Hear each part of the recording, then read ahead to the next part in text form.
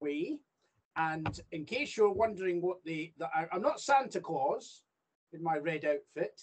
This is the uniform of the uh, royal uh, house uh, of Windsor, the late Queen Elizabeth, who passed away, now succeeded by King Charles, King Charles III. And this, if you can see it, is the scarlet uniform that and fancy collar and cuffs that we wear um, when we're on duty. Um, my day job is uh, as a judge. Um, so during the day, I'm dealing with um, people who um, have problems, one kind or another. But when I'm not doing that, my job is to take part in ceremonies around the uh, royal family. And what we're going to talk about a little uh, today was my role in relation to the sad ceremonies that surrounded the passing of our Queen, Elizabeth II, who died here in Scotland. And because of that, the Scottish uh, officers uh, were involved in part of the ceremony, which took part in Edinburgh. And thereafter, we travelled as a unit to London, where we took place, took part in the main funeral, which took part, sorry, which happened uh, in Westminster Abbey, the uh, one of the largest churches uh, in the United Kingdom, and it's the church where the kings and queens uh, of England and then latterly of Great Britain were always crowned. So kings and queens start their journey as that. They're, they're, they're made into the king, they're acknowledged as king or queen in a ceremony with a great jeweled crown is put on their head, but they also end their job by a big, a great ceremony to, to say goodbye to them before there's then a private ceremony with the family. So these are great state occasions, television cameras, um, dignitaries from all over the world um, come to say goodbye to people like kings and queens or, or presidents or, or, prime ministers, people who hold a, a very large public place in a, in a country's life, it's deemed necessary that their farewells be public. Now, of course, that's in some ways sad because a queen dies, but she's also a mother and a grandmother, and in the case of our uh, dear late queen, a great grandmother. So obviously, the family would like uh, to say goodbye uh, for themselves, but because of the nature of having a, a public office, um, of being an important person, the, the, the rest of the country wants to, to be involved and say goodbye. Now, you might wonder if you saw any of the um, ceremonies, they did look, um, though I say it myself, really well organized and everything looked very slick. And the soldiers, everyone involved. And there's a very good reason for that. And that is that I'm afraid when you are a person as important as a king or a queen or or a president, I'm afraid it's always assumed that you will die and there will have to be these great ceremonies. So, what you need to think about is that every six months, from the point when a president becomes appointed to a country or a king or a queen gets crowned, from that very minute, they start planning your funeral because that is something that has to happen. And so the funeral arrangements for Queen Elizabeth um, were in two parts. If she died in Scotland, it was called Operation Unicorn. And if she died in England, it was called Operation London Bridge. And what people have to do, and this is why it's such an elaborate thing, um, if you imagine the Queen dies in, in, in her country house, it's called Balmoral. Balmoral is a small place in the north of Scotland. You have to get to Edinburgh it is about four hours drive to the capital city of Edinburgh. Then there has to be ceremonies in Edinburgh. After that, though, the Queen has to get to London. And then there are ceremonies in London. So you, you understand the these arrangements have to involve the police because they've got to make sure that all the traffic is out of the way so that the, the um, royal hearse with motorbike riders and all these things can get there without being hindered. Um, getting into Edinburgh. Um, Edinburgh's a city, it's a busy city. I'm sure some of you live in cities. There's a lot of cars. They have to be got out of the way so that the Queen's um, procession can go directly to the places it's got to go.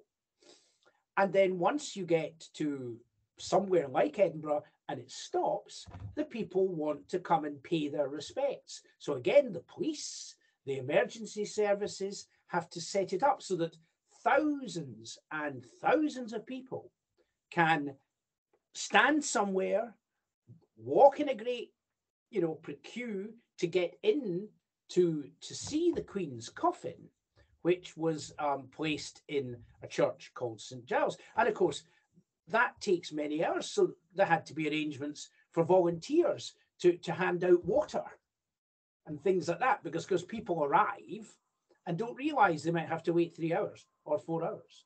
And so that is the the the, the kind of planning that has to be done um, in one of the original plans the queen's uh, coffin was to go from edinburgh to london by train and the reason for that was that the train would move slowly down through scotland northern England all the way, and people would be able to stand at railway stations, railway bridges, things like that, and see it going by.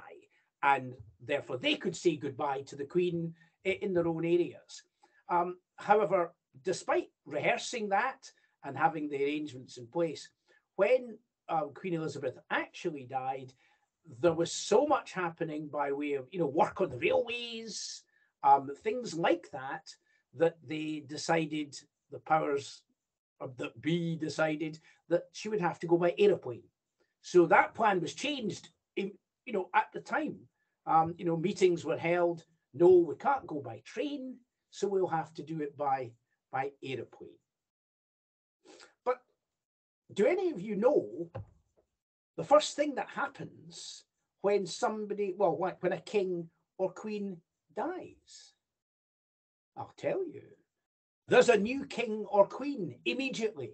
There's no election, there's no gap, you know. And so, as soon as the uh, late queen was pronounced to have passed away to, to her reward uh, in the afterlife, King Charles was uh, proclaimed. So, I'm going to try and share. Um, I'm not very good with this, so we shall see how we do, but I'll get the picture up. Um, so there we are. So now, there's the picture. Now, any idea where I find share screen? Yeah, if you go to the rectangle beside the bright red leave button, don't don't click the leave button. There's right. a rectangle with an arrow on it. Right. Oh, I see it. Yes. Oh, yeah, shit. Here, I see. You have to understand, yeah. uh, persons, I'm 67. That's so old that when I first started work, we didn't have computers. We had typewriters and photocopiers. But there we are. So share screen. Okay. Yeah.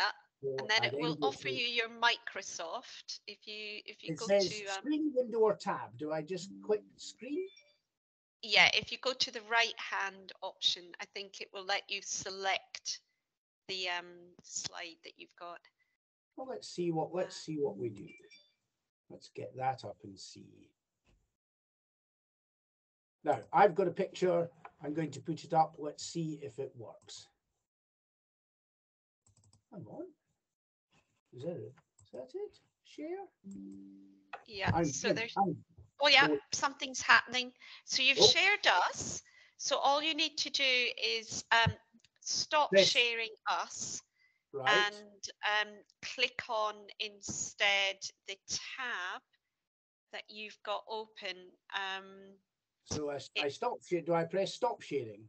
yes, stop share us. Oh, well done. And it now says share content. Yeah, So share content. Yeah, so you're looking on the top right. Anyone see the picture? It will come. Hang on. I hope. You might have to select um, when you press share. Yes. You will need to select, it will say Microsoft on the top right hand side. Uh, sorry about this. That's okay. Maybe one of our, do you know what? One of our students might be able to tell you better than me. Win Win looks very excited. Win Win, what are we doing wrong? Tell us. Okay, so thank you. So first of all, um, uh, could you make me presenter, please, Mrs. Trafford, so it would be easier to show? Um, Yes, I Thank could. you. Please don't take this over, Win Win. You see, I'm learning. You see, this is great stuff. Yeah. Yeah. All right. Okay. Hang on, Win Win. I'm going to Thank make you you. a presenter and you can share your screen and show Serve what to do. Yes. okay, thank you. So first of all, let me share my screen. Um, so what you did first, sir, was that um you went into the meeting like this, so you can see yourself right now. Yes, and then at the first you can press um stop sharing uh but um you can press like uh wait i wish i can see it i wish i can show you like um there was like presentation so when you press um share. Um so when you press share it has like a presentation thing option and then you um yeah. So and then you can go um through anything. So for example i just shared my screen but i can um so you can press window since you use windows and then there's right now there's um the cambridge lecture series general team assembly mean mode uh, my work onenote and snipping tool so here i can share this because i've selected which file i wanted to share Okay. So uh here if you press like share, you can Uh-huh. go to Windows. Yes. Or I've I've got an idea. Yes. If you're Yes. not if you're not seeing the windows, you could you could very quickly if it's a slide just a couple of images or a PowerPoint, you could send it to me and I'll share it for you if you like. I've got. I've Yeah. got. Uh, they might be quite big. Um, Mm. some of them. Let let let's just keep trying. Um, so I've got the share button up here. Uh, Yeah. window. Um, what do I do when I, I've pressed that and it says share contact and I've got screen window or tab, PowerPoint live. Okay. So first of all, um are you sharing a PowerPoint, sir? No, no, just ordinary. Oh, okay. So you can go and press Windows and then you can select which windows of your computer do you want to share. So here there's different windows. Right. And then you and if you press one, it will automatically share the window. Oh, right. So, oh, gosh, share. Hmm. I've now got no contacts, no problem. So do I snip and sketch or? You copy- can maybe you can press snip and sketch. Um at first trying out if we can see your screen, sir. Yes. Mm. I can see the picture I want to show you, but is anyone seeing anything? Uh Not yet. not yet. Oh dear. No, we can't see an- anything.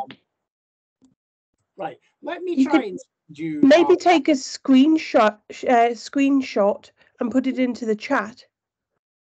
Oh, perfect. That's clever. well, Wow.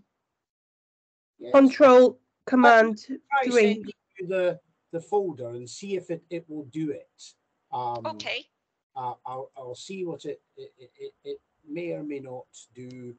Oh, it doesn't seem to say it's too too bad. Um, Let's see. Hang on. Okay. It's collecting it all. It's collecting it all. So let's see what we can do. Let's see. Okay. It says, says it's collected it. So let's just have a. See, we're learning all sorts of things, children. This Oh, is I how it know. should be. You see, we we learn all the time. And uh, now let's see if it will let me send it to Mrs. Trafford. There we are. Well, we'll we'll see if it works, and I'll send this to you, Mrs. Trafford, and then we'll take it from Thank you. from there. Um, now it's only it's only a few photographs. It's not shouldn't kill Yeah. too much. Um, uh, no, I'm not. It's not letting me get your address. That's not. Um, sorry, Mr. Trafford. Could you read me your address and see if I can just type it in? Yes, it's Mrs. Dot Trafford Mrs. Dot Trafford. Ah, got that. at CHS. CHS. Yeah. So that's at CHS. Yes, I've got that. Yeah. Online Online. Yep. Dot org dot UK. Pod.uk. Let's send that and see what happens. In the meantime, I'll talk, continue to talk to you. So, what has to happen is everyone has to know that there's a new king or a new queen. And so, what happens is that people like me, we dress up in, in our fancy clothes, we go with trumpeters um, into the center of the town, and we then stand up uh, on a great tower and the trumpeters blow the trumpets and then we say um, we read out a proclamation that the queen has sadly passed away and that her son charles is now king charles the um, third. So we do that and in scotland we do that in the center of the town. We then march with soldiers up to the big Edinburgh Castle. I don't know if you know anything about Edinburgh. It has a very large castle that just sits on a great rock. And so we go up to that and we do the same thing again. We, we proclaim the um, uh, accession of the king um, and uh, that's the beginning of the, the ceremonies. Now, at that point, the queen is still in Balmoral. Aha. Now, can we see that? I'm seeing that. Can you see it? Sh- uh, Everyone see this? Okay, so this is the one we want. I can If see it. back, This is Trafford to the first one Yeah. with everybody marching in the street. That was the first one you showed us. This one? The very first one that says, um, what does it say? It says, I'm trying to think of it, get its name. Um, Procession Uh, to Market Cross. yes, procession to Market Cross. Okay, here we are. This is it. Right. So, boys and girls, that that is the royal. These are all real soldiers. This is not um not something ceremonial. These are real soldiers with real guns, and they escort us. That's me there, and one of my colleagues at the back. Now, oh, you can see I'm wearing the same red tunic that you can see that I've got on, but over the over the top of that is what's called a tabard, and that is from the days when um, people wore armor and you couldn't see their faces because the helmet covered their face to protect them from bows and arrows and and and uh, and uh, musket balls. And so what they did was they wore over all of that uh, a piece of cloth which had their coat of arms on it. And the coat of arms is like a logo. It, it's it's like a, a, a trademark that basically says this is who I am.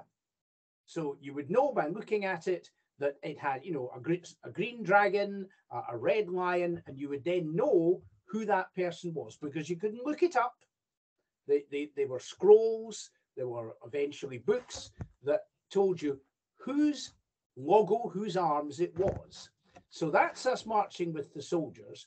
Um, the next one's called the Lord Provost Procession, Mrs. Trafford. hmm Nope, that's three cheers. You got the one before? The Lord Um, Provost procession? There you go.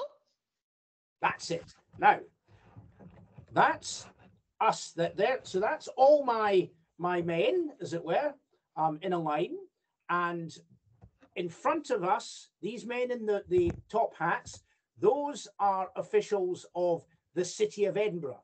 They they they are um, uh, men who work for the um, the provost, the mayor, whatever you would call him, and there's us. And then behind you, do you see the big sword? That is the sword of the city of Edinburgh and says that the Lord Provost, uh, the mayor, whatever you want to call him, the, the, the governor of Edinburgh's city is there. Wherever he goes, the big sword goes with him.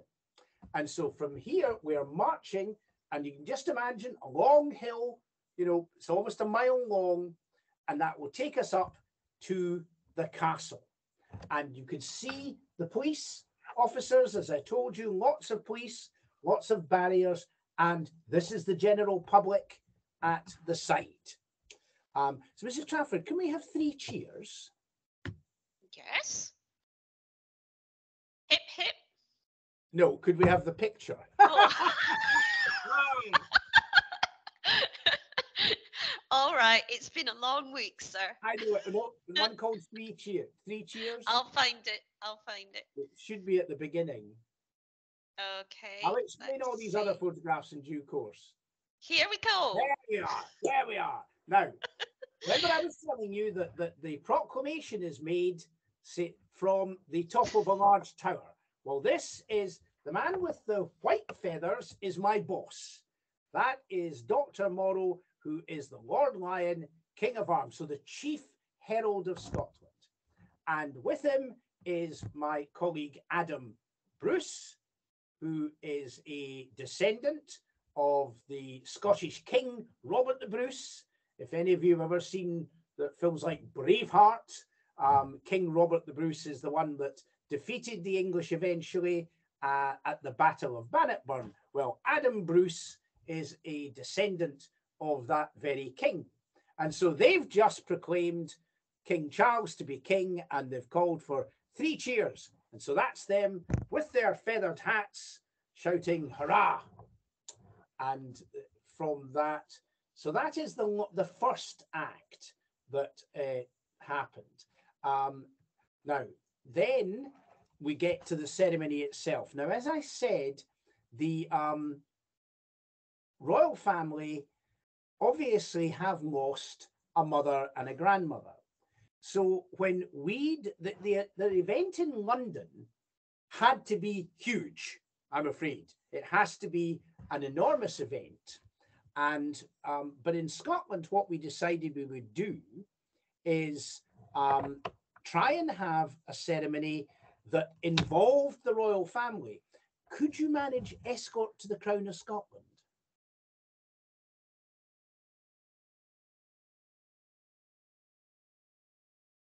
It's before that, or you know, to say it's that's it. Now, now, um, you, you need to use your imagination here now, uh, troops.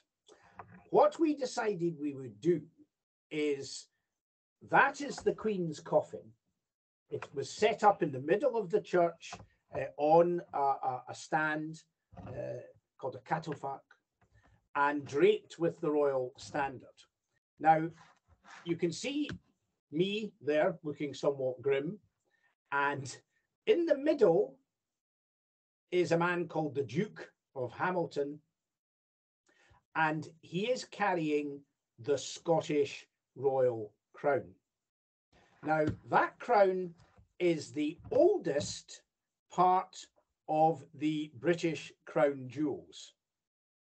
Everything else that, if you watch the coronation uh, on the 6th of May, all of the things you see there were made after 1660.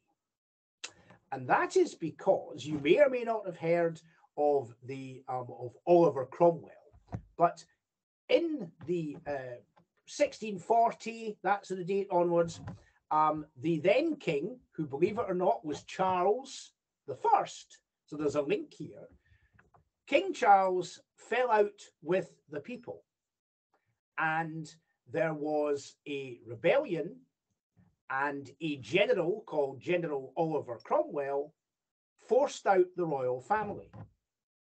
And he sold every single part of the royal collect all the jewels, all the crowns, everything were sold and melted down and turned into necklaces and earrings, whatever.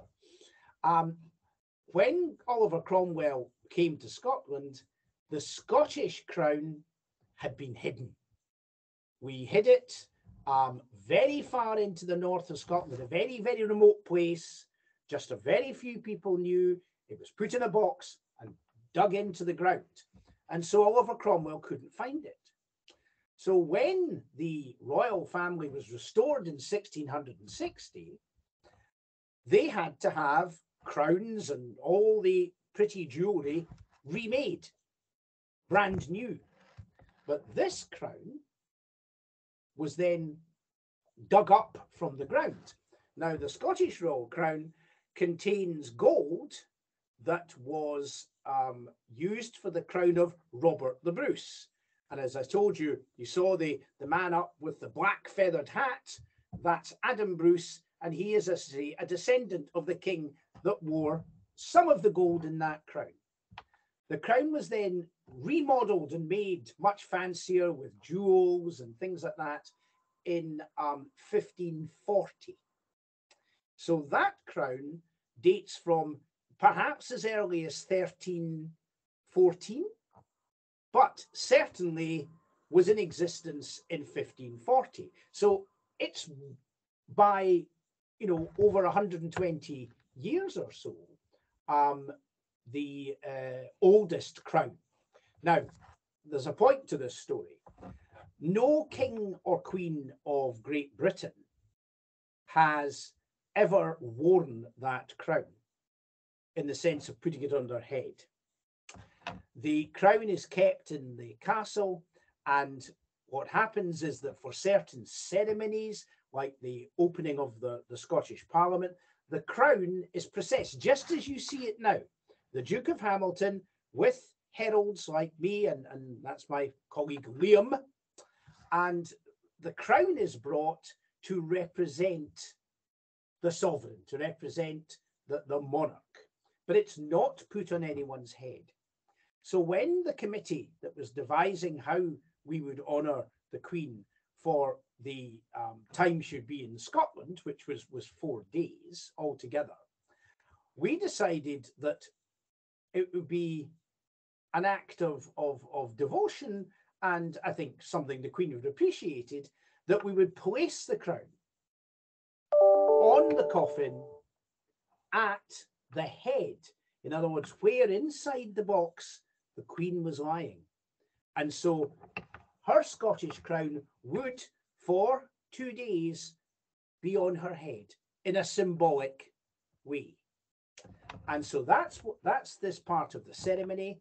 Um, so the, the crown is about to be put on the head uh, of the coffin and stayed there while people came through the church, um, thousands and thousands of them, to um, say farewell to the Queen. Um, can you manage His Majesty the King leaves St Giles, Mrs. Trafford? Right. So, um, this is the end of the ceremony you saw, where everyone was, um, where we put the crown on the Queen's head. And you'll see that there are the, the officers, the heralds, um, in their ceremonial uniform. There in the middle is King Charles, wearing the uniform of a general, in fact, a field marshal, the highest military rank. And do you see the green sash he's wearing? That is the sash of the Order of the Thistle. And the Knights of the Thistle are the highest order of, of knights that you can that there is in Scotland. Beside the king is the queen consort, Camilla, and behind her in the naval uniform is Princess Anne, the Queen's daughter. And again, you'll see she's wearing the same green sash of the Order uh, of the Thistle. And do you see in the very bottom left hand corner the chap in the red tunic? Now, that is the garrison sergeant major, and he is the chief um, soldier uh, in the garrison, and it's his job to teach everyone how to march and stand in line. So I can assure you that for two days leading up to the ceremony you see, uh, the garrison sergeant major did a lot of shouting and stamping of feet and telling us to keep in a straight line and look forward and don't look at the ground because um, that's what sergeant majors do. They they drill people and get them to do what they are supposed to do. As so, whenever you see soldiers doing all these, you know, marching about, looking very precise, looking, that's because people like the sergeant major spend hours making them do it over and over again until they're doing it as the sergeant major wants. And you can see he's saluting the king. Um, so, so this was basically the first outing of the new king with his new queen uh, and obviously his sister. The first outing in Scotland um, after the death of his mother. But but understand, he is now the king even though the, the you know he hasn't yet got a crown put on his head, he becomes king the instant his mum passed away. It's the queen is dead, long live the king. Now, what then happened was at the end of these ceremonies, as I say, the, the queen's coffin lay for two days uh, in Scotland. It was then taken by aeroplane to London and I'm going to move now to, to tell you about what happened uh, in London. Um, can you manage uh, Westminster Hall lying in state? You see that, Mrs. Trafford? No, Westminster Hall lying in state. We're going to get to all these pictures in due course. That's us inside the Abbey, but that's it. Thank you. Now, what happened then is the British Parliament meets in what was once a royal palace. It's called Palace of Westminster. You may have seen, don't know if you've ever seen Big Ben, the great big tower that has the huge clock. That, if you ever listen to the, the British radio, um, the uh, hours are struck by this huge clock bell that goes bong, bong, like that. Now, inside the palace, there are the areas, the offices and things where the, the um, parliamentarians work, but they have this great hall they can use for functions, which is called Westminster Hall. And so the Queen, basically, you'll see the um, various, now the heralds, you notice there's now a lot more of us. That's because the English heralds are joined up to the Scottish Heralds. Now, this is the first time, um, because of the importance, how dear the Queen was to everyone, it's the first time we've ever turned out everyone together. Normally, Scottish heralds do Scottish things, English heralds do English things. So that's the largest number of heralds ever assembled in one place, um, at least up until then. Now you'll see there's other people in the picture. You see, you see the choir, and you see the young men in the red uniforms. Now, that's those are the um, choir of the Chapel Royal. So they, these young boys, sing in the Queen's private or the King's private chapel for private ceremonies. Um, and like a royal baptism, you know, baptism maybe. These boys sing there. The choir in the white outfits, that is the choir of Westminster Abbey, um, who sing in the church. The people behind, those are members of parliament. Those are people who govern and control this country. Um, and you see there are lady MPs, men MPs. and the Queen's coffin is right in the centre. Now, I, I, I don't know, Mrs. Trafford, does this have a, a kind of zoomy? Is there anything, can we make it bigger?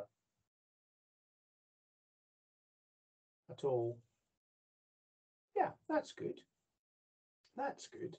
Now, just to deal with the rest of the people, you see that you'll see a man in a black robe with a big gold border down the side. That is the speaker. That's the person who controls the um, British Parliament when they're speaking. So, like a teacher, he sits in a big chair in the debate, the room where all the MPs come and debate, and he is the one that tells them. You, you, if you ever watch it, you'll hear he shouts, "Order, order!" That means be quiet. Um, beside him, in the same robe, is the Lord Speaker, and he does the same job. He's the, the chairman of the second chamber. In some of your countries, it might be called the Senate, but in UK, it's the House of Lords. But basically, it's another piece of parliament.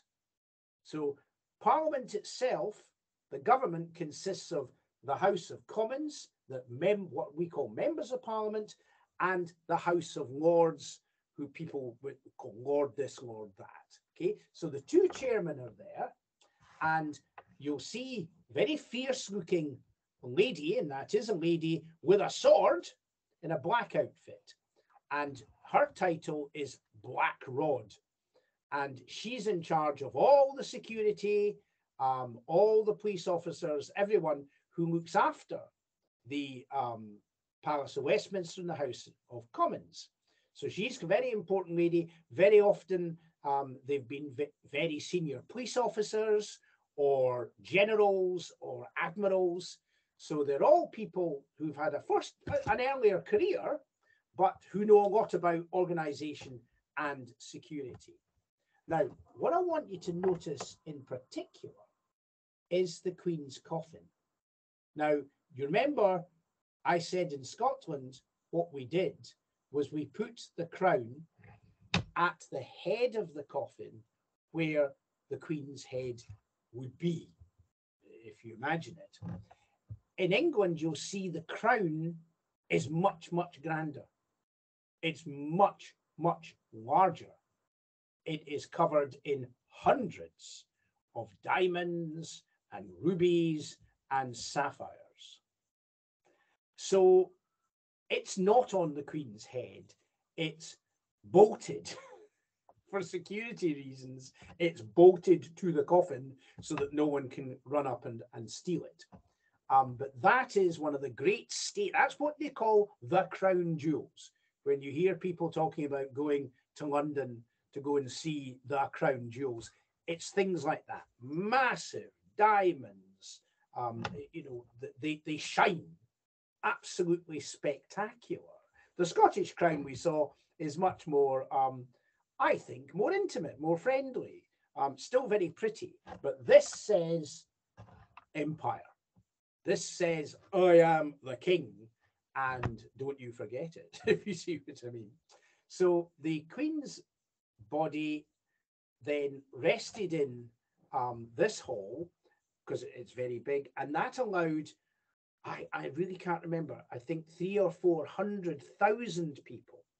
The queues went on for days, and the queues were 20 hours. They allowed 20 hours in every day, only shut for four to allow, you know, cleaning and things. So vast numbers of people were able to to to come from um, the uh, all over the world, all over the world to see all of this.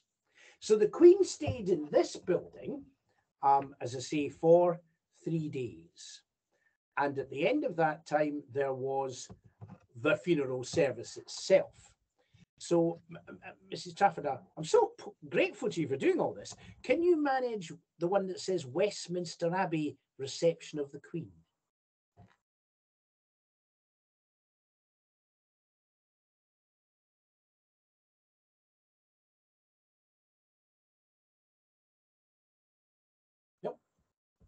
That's it.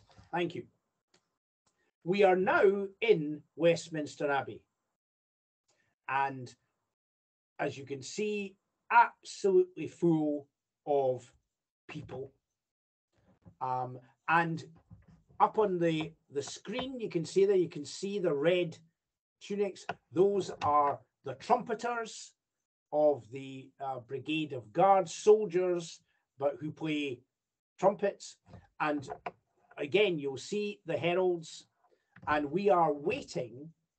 So we've marched in, we are now, we turn round and we are waiting for the Queen to be carried in by other soldiers. And so at that point, you say the Queen's um, uh, funeral has started, the real funeral.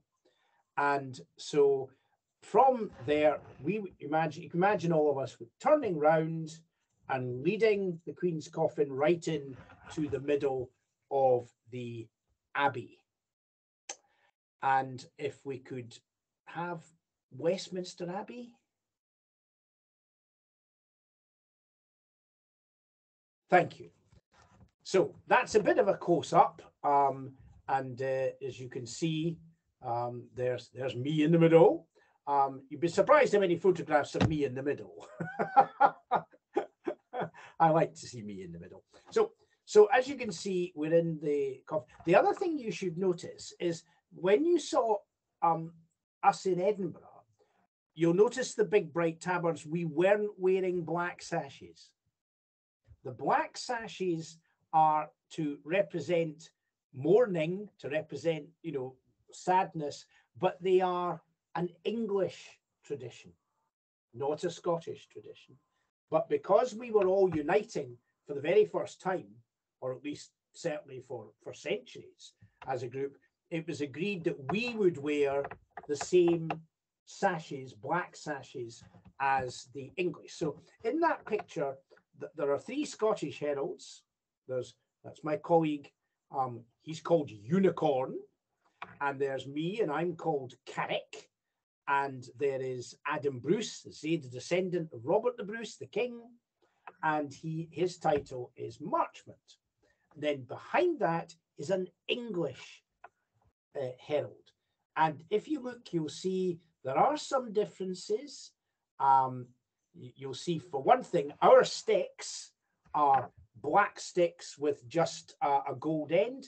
You'll see if you look carefully, his stick is shorter and has a, a, an elaborate golden top, an elaborate golden top that we don't have. So all of our sticks are the same. In England, each herald has a different design of stick so that you know that who they are. Um, and at this point, we're leading out. We're now going out the way. And again, you'll see behind us, um, you know, you can see least one general with his medals um, and the congregation. So the Queen's coffin moves out from um, Westminster Abbey. Obviously, there's been music, prayers, um, readings from, from religious works, um, but the service is now over. But then comes perhaps the greatest part of the event, which is the public display um, and the procession of the uh, Queen's coffin all the way from the Abbey through central London, past Buckingham Palace. So if if we could manage um, passing the cenotaph. Whoops.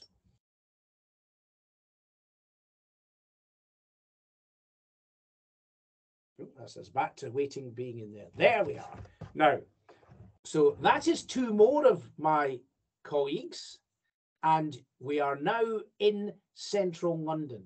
We are marching through the area that's thought of as, as, as the centre of government. It's where there are lots of civil servants, departments, Department of War, Department of, of Trade, and we are marching along. And at this point, we're passing what's called the cenotaph. That's a difficult word, but it, it means empty tomb. And it's a memorial, a monument to all those who've fallen in, in, in wars, uh, fighting as soldiers uh, for uh, Great Britain. And so we're marching on then. Um, and then we need, can you do March to Wellington Arch?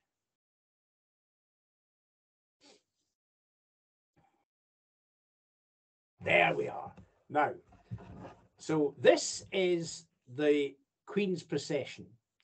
The um, red tunics, these are all members of the Brigade of Guards. These are the military regiments, the Scots Guards, the Welsh Guards, Coldstream Guards, um, who guard the Queen. That is their principal job, and they wear these very um, impressive scarlet uniforms. You'll see the very big hats. The, these are um, made out of, of, of bear skin. Um, and the reason the hats are very tall is because it makes the soldiers look even taller than they are. So these soldiers are all, you know, at least five foot 10, something like that. But they wear these hats, which makes them six foot five. Um, so it, it's, it's for show. The man with the hat with the white feathers is the general who commands all the Queen's guards. So this is the very front of the procession. He is leading it because he is the commander of the Queen's guards. This, the heralds are coming, and behind that is a band, and behind the band is the Queen's coffin. Now, does anybody know how the Queen's coffin is being taken through the streets? Do you think it's in a, a, a, a car? Alison, do you know?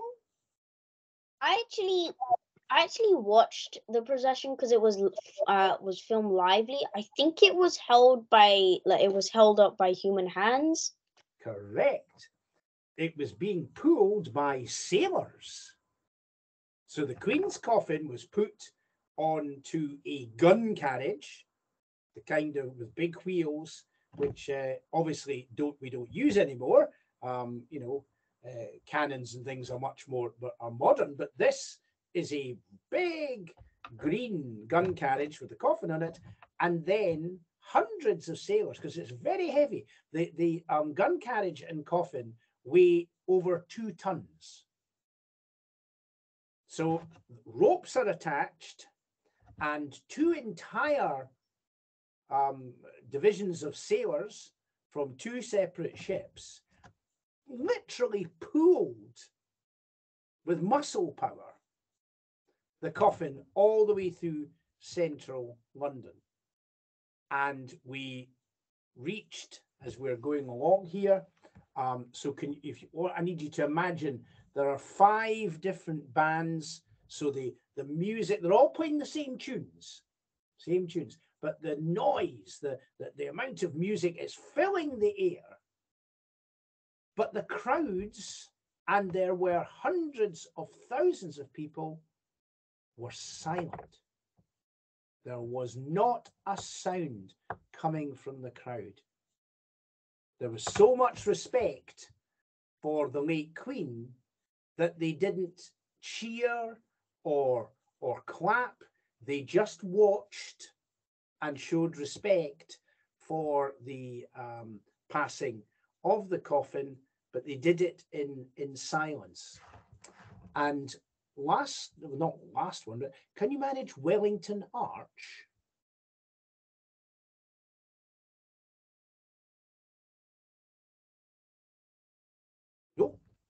Sorry. There's that handsome devil again.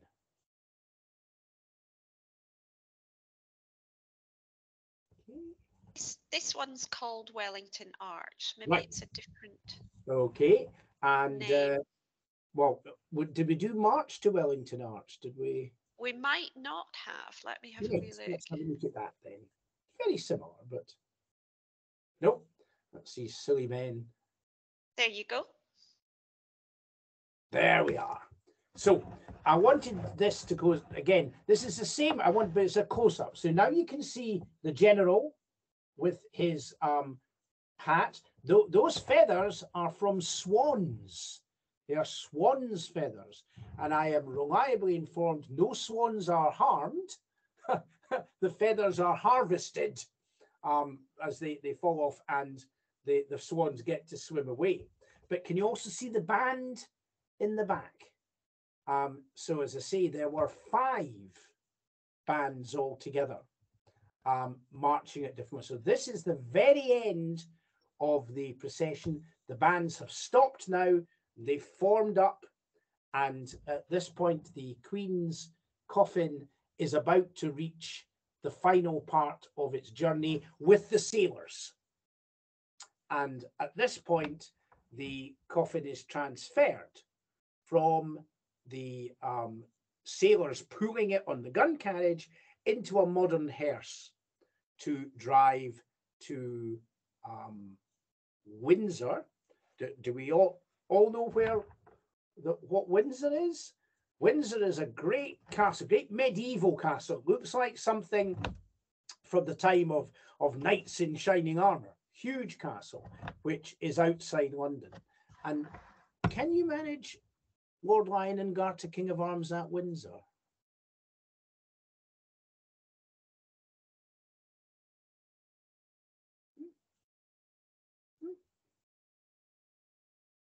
It's always the last one. Hope I've sent you it. Ah, thank you. Now, this is the final part of the ceremonies. All the noisy public affair has finished, military bands, cheering crowds. This is the chapel at Windsor Castle where the Queen and other members of the royal family actually lived, where, where they had theirs with their television sets. This was their home. And you'll see now there aren't all these soldiers and even the heralds have come down to two. And that is my boss, the uh, Lord Lyon King of Arms, and in front of him, um, the Garter King of Arms. And I'll explain that in a minute. The Garter King of Arms, who's the head of the English system of heralds, and just one guardsman, one officer there in the red tunic. Now, now we see the royal family assembled. So we have the king in the naval uniform. Beside him, Queen Consort Camilla. Beside her, Princess Anne in the uniform of an, an admiral, a lady's uniform of an admiral. Her husband, who is uh, an admiral himself. Then we have the Earl of Wessex, Prince Edward, the Queen's youngest son, and his wife and his two children. So the main, the closest members of the royal family are right there. The Queen's coffin is just out of the picture. So this is almost a private ceremony. There's still a lot of people, but this is the last farewell to the Queen by the state and by the people. It's become much smaller. The royal family, instead of being surrounded by presidents and prime ministers of France and all of these other things, it's now just them and a small number of officials. And at this point, the Queen's coffin is in the chapel of her home. So this is much more like the funeral you would have for a grandpa or a granddad, you know, near their home with the family around them. And the very final act in the um, funeral, all of these people are gone, all of them. And it's just the royal family who will have watched the Queen's coffin lowered down under the floor of that um, of the chapel. You see the black and white uh, tiles under that floor, um, and the Queen's coffin was laid there alongside that of her husband, Prince Philip, who, of course, as you know, died uh, the year before. And that ceremony is exactly like one that any family would experience. just the family and obviously some official of the the, the church um, blessing the queen and laying her to rest beside her husband. So, as you can see now, for people as important as the, the Queen, but also, you know, presidents and prime ministers in, in other countries, um, this, the people want to be able to say goodbye. The people want to be able to take part in the ceremonies. So there have to be all these great ceremonies, but ultimately it has to end with the children saying goodbye, mum, goodbye, granny, goodbye, great granny, just like any other family. So the, the story of the Queen's death starts with, with her in her Scottish holiday home. She passes uh, peacefully because she's very old. And then all of these ceremonies say, We loved you, we revered you, you did a very good job as queen. But at the very end, we have the family, royal family, but still the family, who get to see the last act. Coffin goes into the ground, is covered over, and you say goodbye. So these ceremonies will probably never, ever be seen again. The um, effort that went into the Queen's funeral um, was a result of years of planning. The resources were available. Um, the respect with which the president, bear in mind, she was queen for over 60 years. No president, no prime minister anywhere in the world has been in charge of a country for that enormous length of time.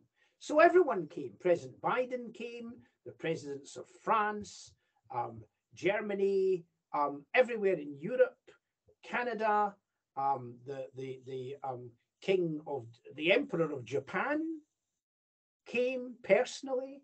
Um, so the outpouring of love for the Queen was, I think, something it would be hard to match.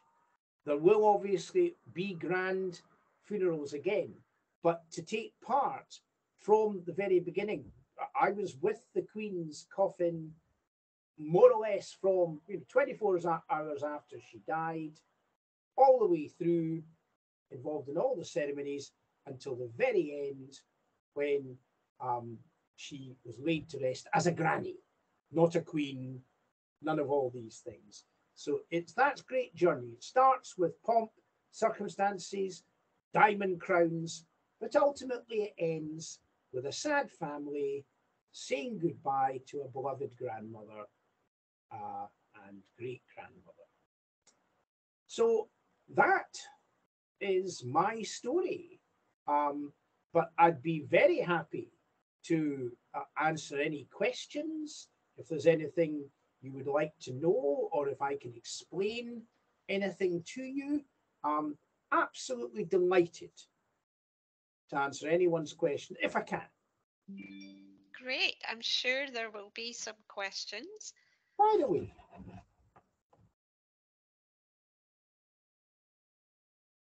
win-win. Thank you, sir. I um it's a, it's not exactly a question, but I just wanted to tell you that um this um this talk is really interesting. I learned so many new stuff out of this talk as every talk, and this is an amazing so talk. So thank you for coming, sir. Not in the slightest. Um, but there must be something somebody wants to, that to, to know that I haven't told you.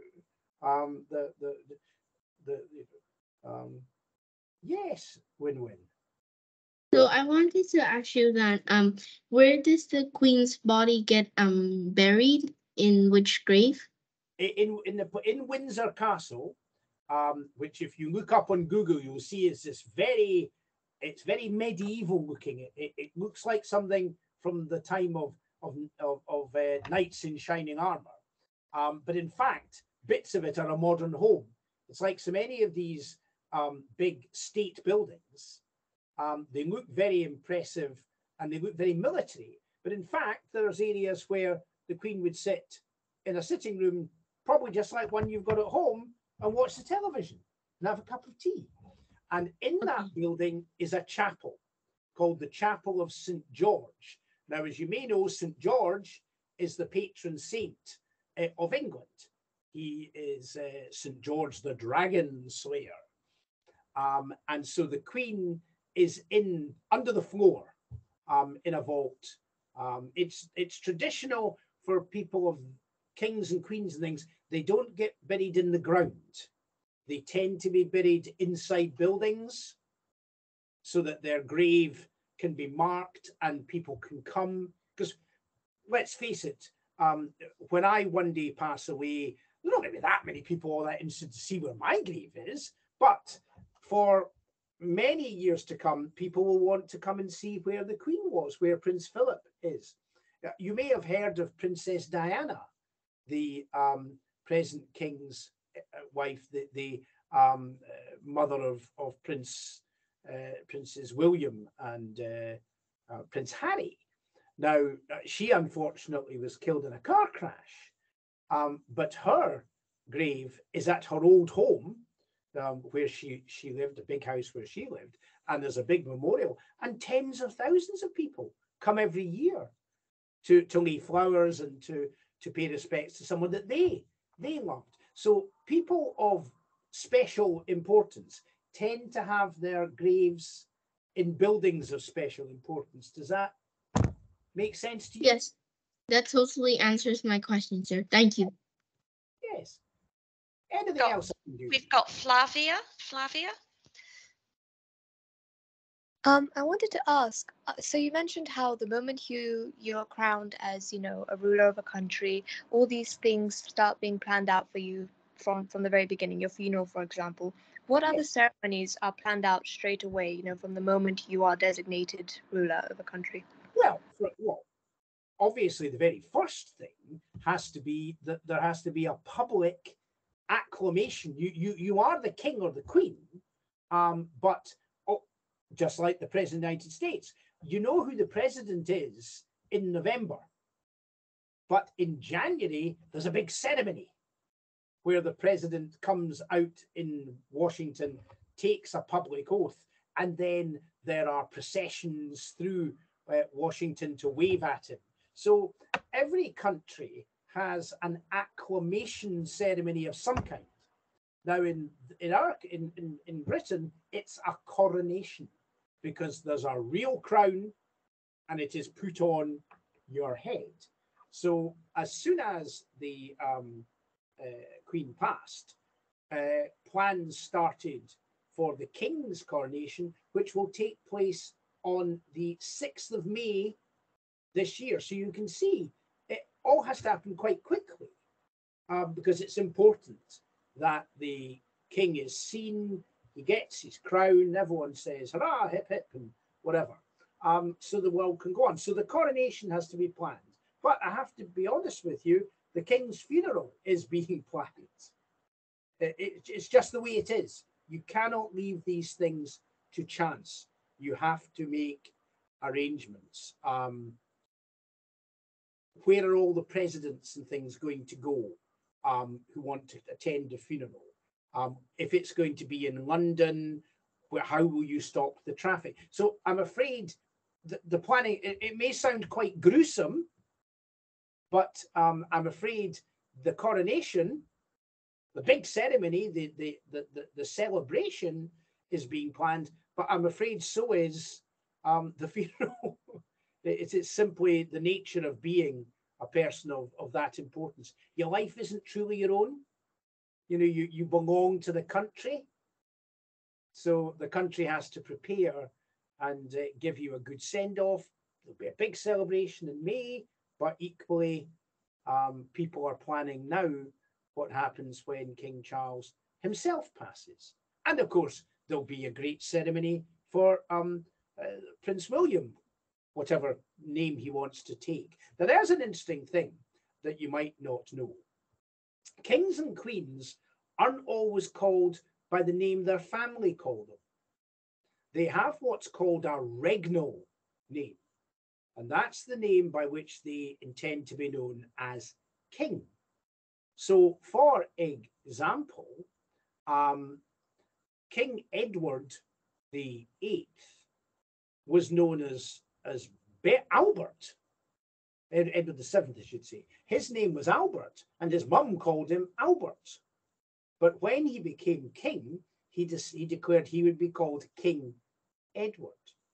Um, Edward the Eighth, um, who was the um, present queen's uncle, was called David, and he thought King David sounded just a little bit too biblical. King David was the father of King Solomon, if you remember in your Bible, um, and he thought King David didn't work. So he called himself Edward as well.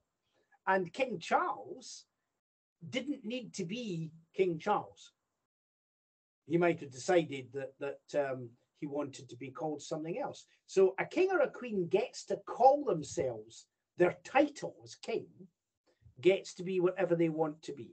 So um, so we don't know what Prince William will call himself when he decides um, to be, uh, well, well, not when he decides, when he becomes the king. Um, th- that's just the way it is. It might Um, be that King Billy is a bit of a controversial um, reminder of the past. Darla depends where you are, Mrs. I'm uh, I'm south of the border now. this neck, this neck of the woods, um, King Billy is well revered. But of course, you see, this is always a difficulty. It's the historical connections.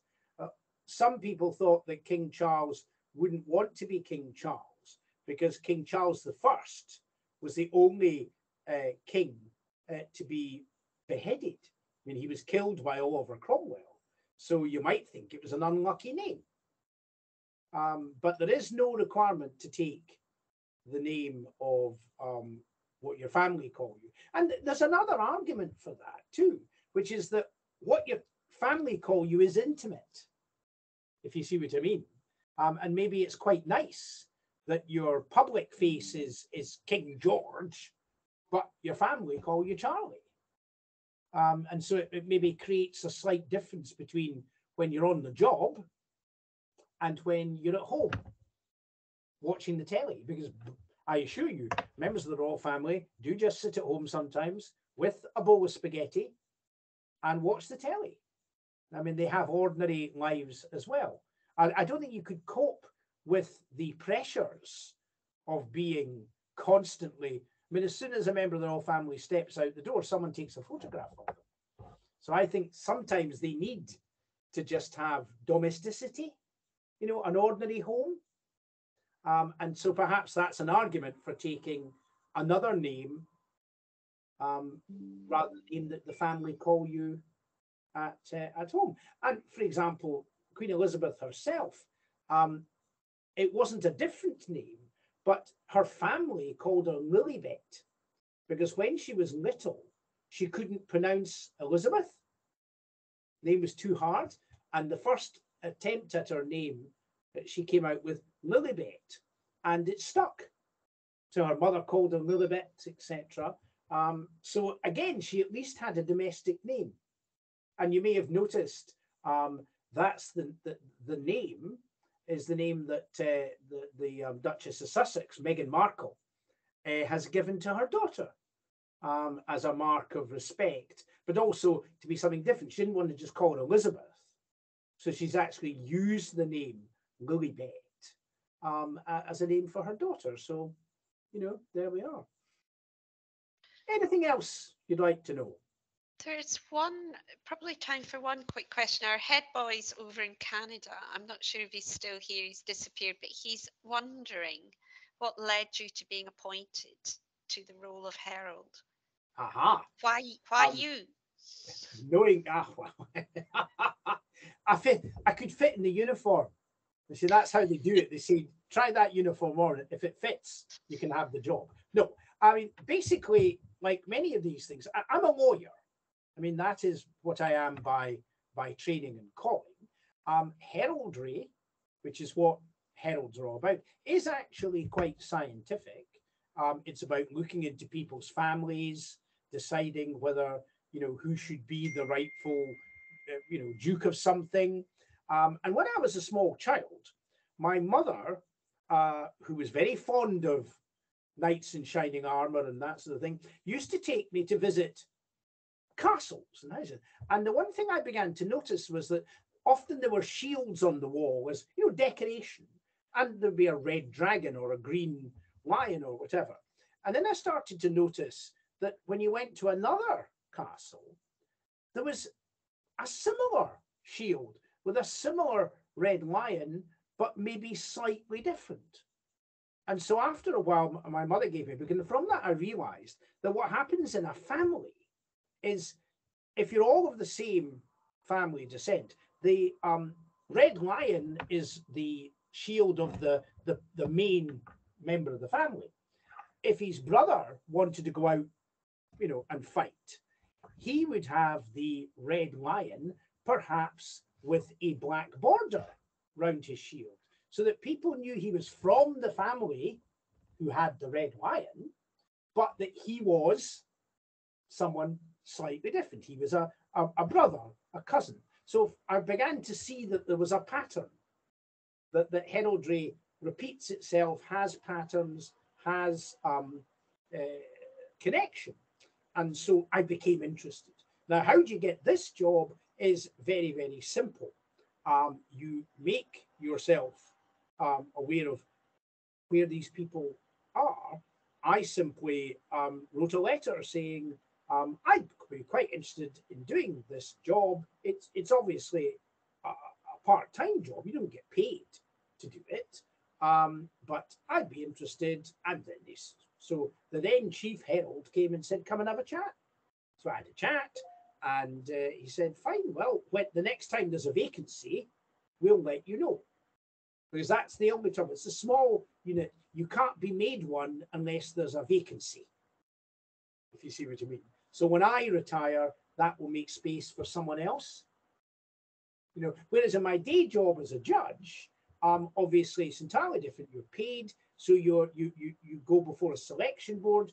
You you you you know you have a a recruitment process, and if they need more judges, they can recruit more judges. Whereas with heralds, it's there's a fixed number, and it's one in, one out. The other thing I will make clear to you, because I see all you ladies there, um, until not so long ago, it was a job for a man. That's been completely blown out. In Scotland, we have two lady heralds, and England has won. So it's another breakthrough for the ladies um, that uh, they can have these jobs as well, um, and quite rightly so. Um, there, there is no reason why uh, women shouldn't shouldn't do these jobs. But as I say, to, just so I'm clear, traditionally it was a man's job, um, and it's really only in the last ten years or so um, that that has been that glass ceiling or glass shield has been broken through. So I'm I'm sorry this is all a bit disjointed because it's it's difficult. I, I'm truncating 12 days into an hour. So obviously, um, it is a snapshot, but I hope that you enjoy it. What you can do now, of course, is the funeral, and all of these things are on YouTube. You can now perhaps go back and have a look at some of it, and you'll have some idea. I mean, somebody say, "Look, there's George." Um, So it, it might perhaps put a little bit of context. But but what you need to go away with in thinking is that remember that for people who have these great public jobs, they they are some to some extent prisoners of the jobs they do. They, they, they don't get to be themselves all the time. So for even someone as popular as the Queen, her funeral ceremonies, if you like, were hijacked too strong a word, but they were taken over by the state, by the people. So much of what we saw was an outpouring of, of state sentiment of, of the people and the government. the very end, a granny was being interred with the family that she loved. So it's a journey from being queen to ultimately being granny and great granny and being able to have the private time. So I hope that's been of some interest to you. And uh, I, um, as I say, go and have a look again. It's I say YouTube, whatever. Have a look again, and maybe you'll see a bit more um, of what was happening and have a better understanding how these great ceremonies are put together. But just remember this: it's like a duck. You see the duck on the water, and it looks as if it's gliding, but its wee legs are going, you know, ten to the dozen. Likewise, for all these events, hundreds and hundreds of people who you didn't see did a vast amount of work in order to make it look as simple, seamless as it was. So thank you very, very much, uh, Mrs. Trafford. Thank you for being my, my uh, photo um, shop assistant. Um, I will try better to learn how to use this system for, for another day. And uh, wherever you are, stay safe and just remember you're sticking at school. Okay? Because if not, you might end up having to be a herald full time or something, and they don't pay you. It's a great deal. So sticking at school and enjoy yourselves and, and goodbye to everyone. They certainly will. You'll see a lot of hands clapping now. You might not hear them, but lots of love right. hearts are flying much. up. Well, as I say, thank you very, very much indeed. And you all stay safe wherever you are. God bless. Thank you, sir. Goodbye. Bye. Goodbye. Goodbye, sir. Thank- Thank you. thank Amazing you, talk. Yeah, thanks Um, everyone. Mrs. for Trafford, I already Goodbye, everyone. um I already um redeemed the merits, by the way, and um Okey the survey. Okay, thank you. Bye, everyone. Bye. All right. Night, night. Have a nice tea. Take care. Night, night. Thank you. Bye. Bye.